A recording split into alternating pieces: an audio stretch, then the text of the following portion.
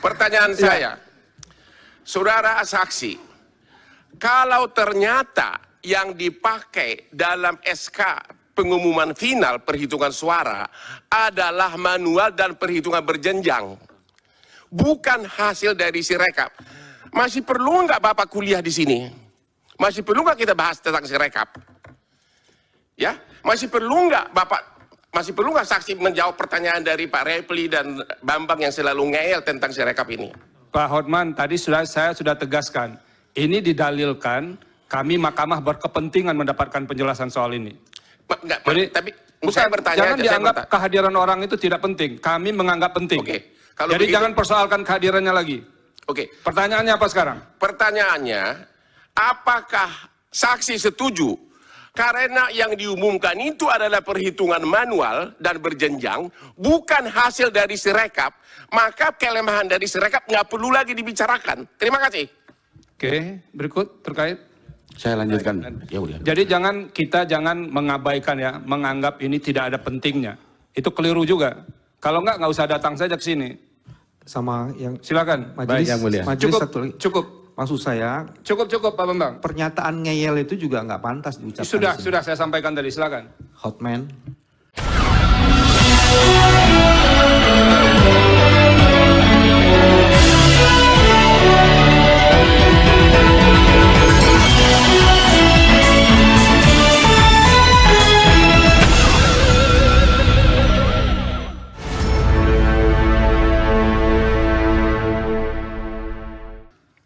Pertama-tama saya mengucapkan terima kasih hormat yang setinggi-tingginya kepada Yang Mulia Bapak Arif Hidayat. Karena setelah kita tadi tiga setengah jam diskusi tentang IT, ternyata hanya satu pertanyaan dari Pak Arif Hidayat yang mengatakan, kalau memang akhirnya yang dipakai adalah manual dan eh, perhitungan berjenjang, ngapain kita ribut-ribut lagi bicara sirekap? Itu tadi pertanyaan dari Pak Arif Hidayat ya yang dilihat adalah manual dan perhitungan berjenjang ngapain kita bahas-bahas lagi tentang si rekap ini ya sekali lagi saya hormat saya kepada Bapak Arif Hidayat karena Bapak sudah mengingatkan kami bahwa kami ini adalah sarjana hukum dari tadi kita kuliah Iya. kuliah komputer Pak Hotma, Pertanyaannya apa? Pertanyaannya apa Pak Otman? Sebentar Pak Hotma. Tadi pada waktu mengirim tapik saya lihat cincinnya bagus-bagus itu. Pertanyaan saya, saudara saksi, kalau ternyata yang dipakai dalam SK pengumuman final perhitungan suara adalah manual dan perhitungan berjenjang, bukan hasil dari sirekap, masih perlu nggak Bapak kuliah di sini? Masih perlu nggak kita bahas tentang sirekap? Ya, masih perlu nggak Bapak masih perlu nggak saksi menjawab pertanyaan dari Pak Repli dan Bambang yang selalu ngeyel tentang sirekap ini? Pak Hotman, tadi sudah saya sudah tegaskan, ini didalilkan kami mahkamah berkepentingan mendapatkan penjelasan soal ini. Ma- Nggak, ma- Jadi tapi bukan, saya bertanya jangan aja, saya dianggap bertanya. kehadiran orang itu tidak penting. Kami menganggap penting. Oke, kalau Jadi begitu- jangan persoalkan kehadirannya lagi. Oke, Pertanyaannya apa sekarang? pertanyaannya, apakah saksi setuju karena yang diumumkan itu adalah perhitungan manual dan berjenjang, bukan hasil dari sirekap, maka kelemahan dari sirekap nggak perlu lagi dibicarakan. Terima kasih. Oke, berikut terkait. Saya lanjutkan. Ya udah. Jadi jangan kita jangan mengabaikan ya, menganggap ini tidak ada pentingnya. Itu keliru juga. Kalau enggak nggak usah datang saja ke sini. Sama yang Silakan. majelis, Yang Mulia. majelis Cukup, satu lagi. cukup, Maksud saya cukup, cukup Pak Bambang. pernyataan ngeyel itu juga nggak pantas diucapkan. Sudah, di sini. sudah saya sampaikan tadi. Silakan. Hotman. Baik, terima kasih Yang Mulia. Ya, saya bisa memaklumi situasi seperti ini. Eh, tetapi karena memang kenyataannya Yang Mulia memang membutuhkan eh, informasi tersebut, tentunya kita harus gali lebih lanjut.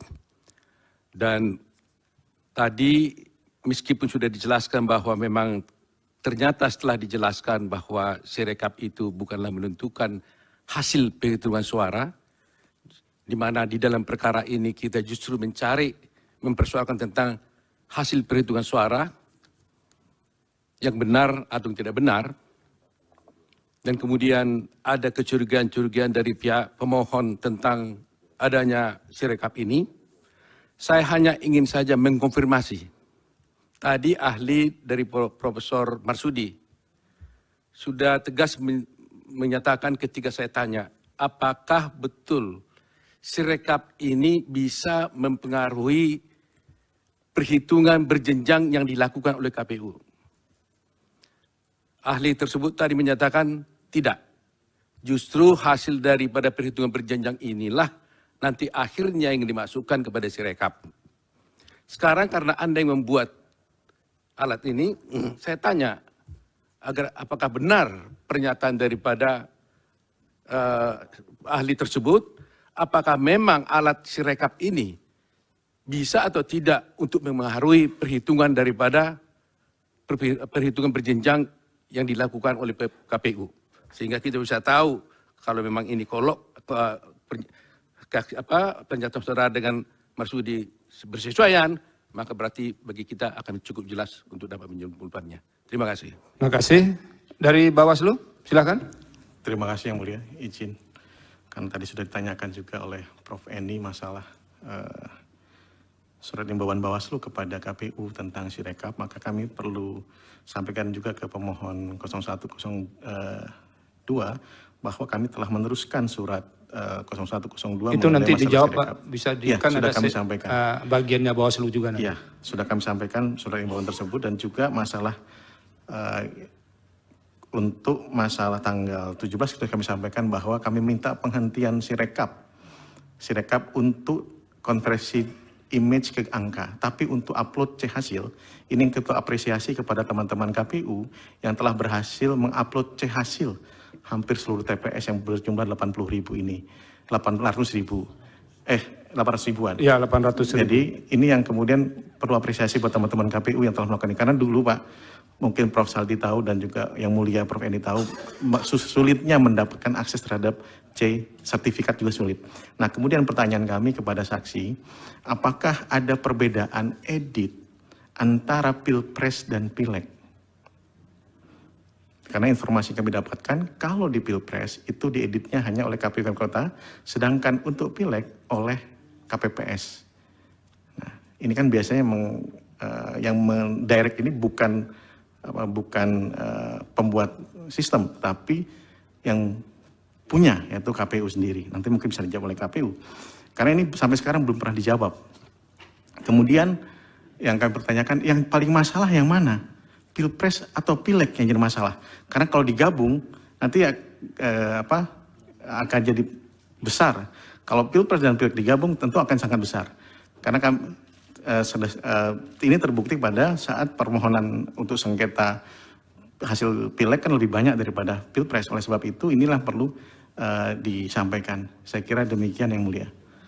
Eh, Prof. Terima Prof. kasih. Pimpinan sidang, Iya. Prof. Saldi, Pak Ketua mohon izin. Eh, untuk supaya clear kita ya, begini. Di dalam permohonan pemohon 01 dan pemohon 03, itu ada dalil yang mempersoalkan sirekap. Sehingga mahkamah harus menjawab dalil itu dalam rangka untuk memutus. Gimana sih penggunaan sirekap ini? Oleh karena itu, Mas Hotma, Mas Hotman Paris, proses yang mempertegas dan proses dalam rangka persidangan untuk mengetahui bagaimana sebenarnya duduk persoalan sirekap, maka tetap diperlukan dan penting untuk kita ketahui bersama. Karena persidangan ini terbuka untuk umum, seluruh masyarakat Indonesia mengetahui, dan mahkamah juga harus menjawab dalil dari permohonan pemohon satu dan pemohon tiga. Dan itu sangat penting sekali supaya menjadi terbuka. Semua dalil akan dijawab oleh mahkamah.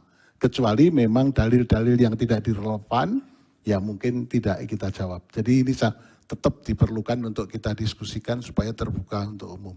Terima kasih. Ter- Terima kasih Yang Mulia atas tanggapannya. Tapi menurut kami, berhubung sudah dijawab bahwa yang dipakai adalah manual sama perhitungan berjenjang, itulah jawaban atas permohonan itu, bukan lagi sirekap. Terima kasih. Pak Hotman yang menjawabnya nanti bukan bukan kuasa hukum termo, pihak terkait loh, hakim yang akan menjawab. Dan tolong majelis hakim diperingatkan itu saudara Hotman yang bilang ngeyel-ngeyel. ya, tolong diperingatkan. Ya. Sudah Pak Refli? Mas Refli? Sudah ya? Jadi mohon pengertian bersama.